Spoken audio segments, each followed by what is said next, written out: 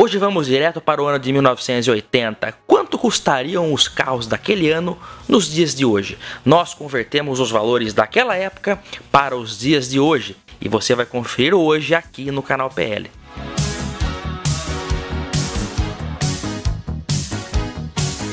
Olá amigos do canal PL, o seu canal de literatura automotiva e nostalgia, vamos para 1980. Eu vou tratar aqui de valores atuais, os valores dos carros daquela época eram em cruzeiros. Nós convertemos e vamos falar já logo os valores em reais, né? Convertemos os valores daquela época, quanto seria hoje. Então vamos tratar aqui diretamente em reais, eu acho que fica mais fácil para você entender, ter um nível de comparação com os carros de hoje. Não adianta às vezes eu falar em cruzeiros, porque a gente não vai conseguir ter hoje em dia mais uma real noção do que seria atualizado. Então, por essa razão, vamos falar logo em reais. 1980 foi um ano até interessante para a indústria automobilística. Naquele tempo, apresentações fechadas, mas tivemos alguns lançamentos ou atualizações interessantes. Por exemplo, a linha Opala, lançada em 1968, ganhava em 80 a realização mais importante da, de toda a história do modelo até então, né?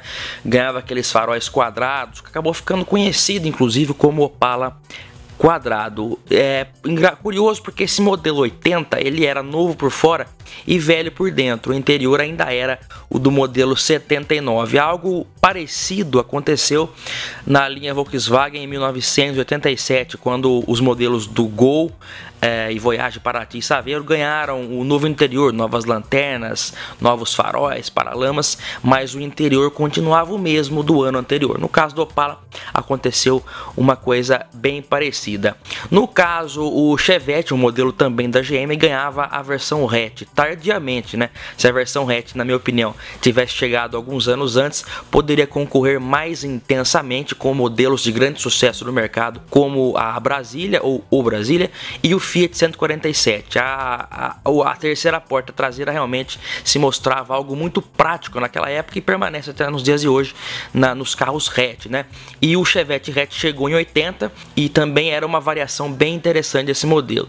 O Fiat 147 lançado em 1976 ganhava a sua primeira restilização com aquela frente mais moderna que acabou ficando conhecida como frente Europa. Além do modelo hatch também era lançado a Station Wagon ou a perua, que era a Fiat Panorama, que já chegava também com a nova frente. Em maio desse ano, a Volkswagen fazia o lançamento do Gol, ainda com motor refrigerado a ar 1300 e o Gol que está aí até hoje, né, tá para sair de linha, mas ainda existe aí 40 anos mais de 40 anos depois. Nós tivemos acesso a alguns valores em cruzeiros de carros daquela época. Não são todos os modelos, conseguimos alguns, mas acho que são aí quase que os principais mesmo e nós nós atualizamos esses valores. Por exemplo, em 1980, o carro base, o de entrada, que você podia comprar zero, carro mais em conta, era o Fusca, como vocês já devem estar imaginando. Um Fusca 1300 naquele tempo sairia em valores atuais por 72.300 reais, um valor aí que pode ser considerado alto.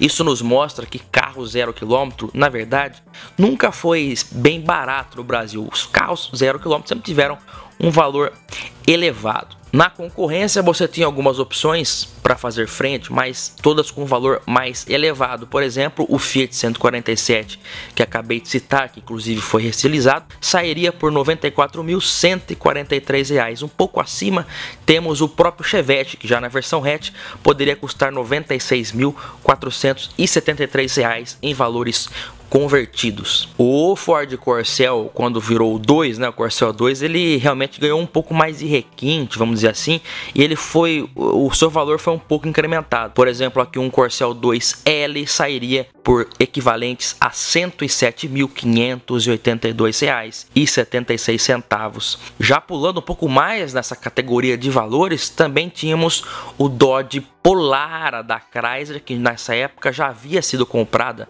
pela Volkswagen Werk, mas os modelos Chrysler, modelos Dodge ainda estavam é, sendo disponibilizados no mercado. Um Polara naquele tempo poderia sair por R$ 132.706,14. Um dos seus concorrentes de diretos, que sempre foi o Passat. Era um pouco até mais caro, 138.693,75 reais convertidos, equivalente à versão LS. Se você quisesse um fora de estrada, um carro mais off-road, um modelo de fibra, Tô falando da Gurgel, né? Gurgel X12 sairia hoje por 118.387 reais, o valor de um de um Nivus aí basicamente, e o X15 ainda mais, ó, 158.834.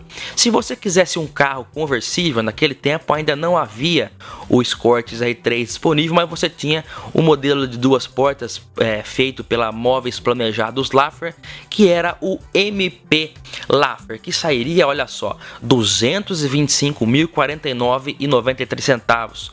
Modelos esportivos também tínhamos de fibra fora de série. O Bianco S é um bom exemplo, sairia por R$ 236.819,55 Mas se você não quisesse um esportivo com mecânica boxer refrigerada a ar, você poderia optar por um Puma GTB que já trazia a mecânica do Opala 6 cilindros, basicamente um Opala de fibra, mas o valor também era bem elevado. Olha só, um dos carros mais caros do Brasil, inclusive naquele tempo, convertido hoje seria o equivalente a 393.406 reais. Olha só como era caro o Puma GTB, bem mais caro que os modelos Puma com motores boxer refrigerados a ar. Nesse segmento de luxo, nós tínhamos também o Alfa Romeo 2300, fabricado pela Fiat, que saía por 333.824 reais. Você está vendo na tela o valor é, em cruzeiro também, né? O Ford Landau também era a opção, a melhor opção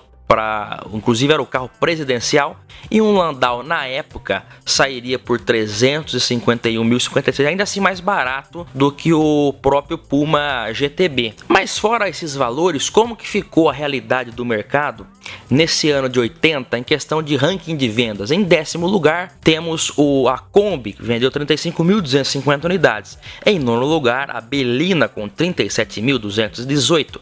Em oitavo, o clássico Chevrolet Opala com 45 56.286. O Gol, estreando no mercado, já ficou em sétimo naquele ano com 52.272 unidades. Em sexto, Ford Corcel com 74.998. Em quinto, Chevrolet Chevette, pouco mais de 86 mil carros. A Brasília, ainda assim, já no fim da vida, ficou em quarto lugar com 96.099.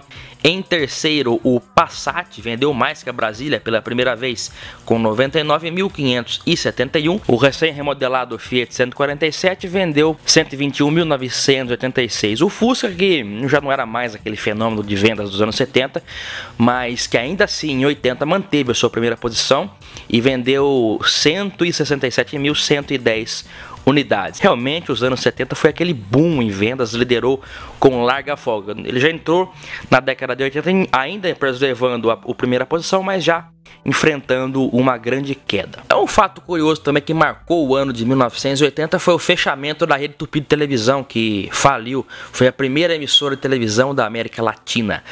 Olha, eu já fiz um vídeo dos, dos valores aí dos carros do ano de 1975, tá bem legal, vale a pena também você ver. E eu espero vocês aqui no canal PL, essa nostalgia muito agradável que nós praticamos por aqui.